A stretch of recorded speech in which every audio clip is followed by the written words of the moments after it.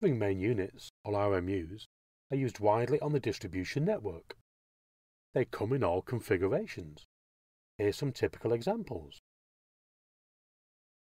They're used to switch power around the network, and as their name suggests, they are normally inserted into rings formed within the network to provide the loads with different sources of supply in case something goes wrong with the network.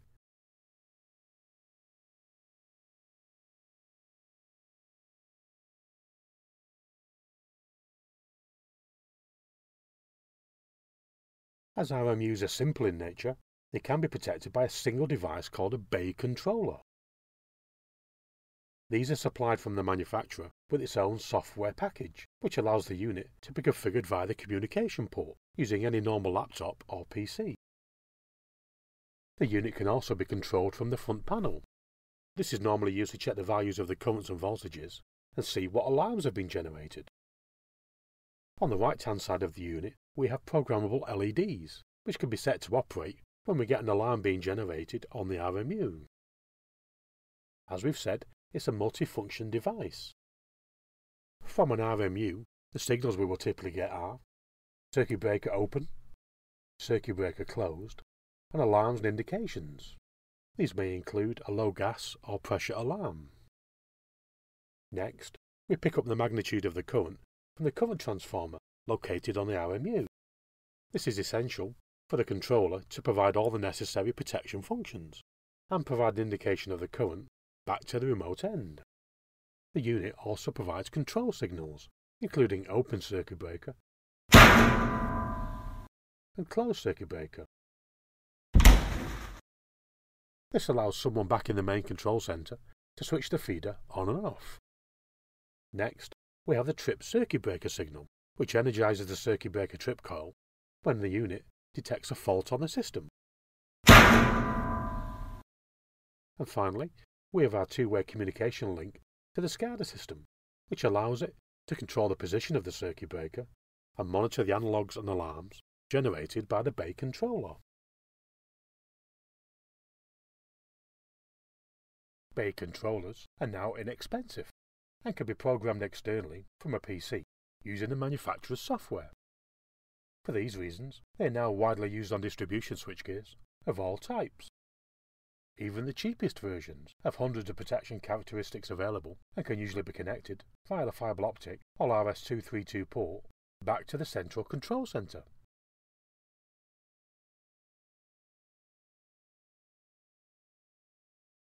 Here is a typical arrangement for an RMU. They normally consist of a circuit breaker connected to the feeder which supplies the load,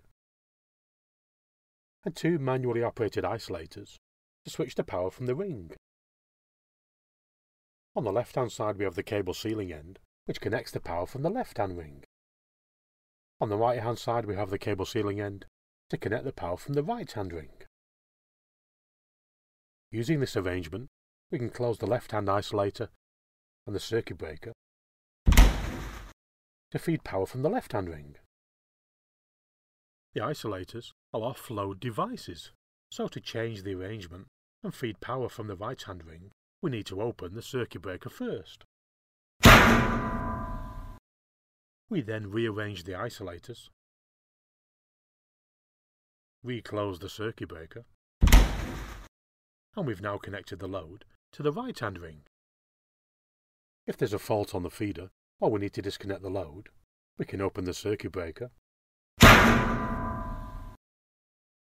close both isolators, and connect the left-hand ring and right-hand ring together. This operation will only be done when one or both sides of the ring are dead, and is therefore only put into practice under the supervision of the network controller, who will ensure that this is the case. This flexibility shows why ring main units are used throughout the distribution network. The ring main unit is also equipped with some manual ground switches. Using these, we can separately ground the left-hand ring, the right-hand ring, and the feeder. Again, before we ground any part of the ring, this has to be done under the direct control of the network operator to make sure that the ground switches are not closed onto a live circuit. If we look at the front of a typical RMU, we can see the manual controls for the circuit breaker, ground switches, and isolators. You will notice that this particular RMU has replaced one of the ring isolators with a circuit breaker. The RMU suppliers will give you any combination of isolators and circuit breakers that you require. In this version, we have circuit breakers on two of the legs. You can tell this by looking at the control switches and by the fact that we have a bay controller for each of the circuit breakers.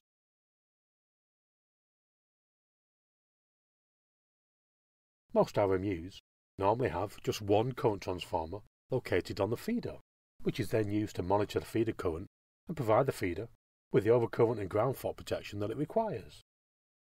If a fault occurs on the feeder,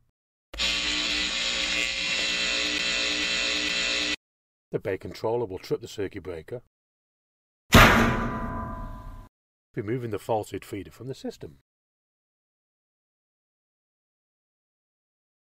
The decision on whether we use isolators or circuit breakers for switching the RMU supplies really comes down to how often they will be used.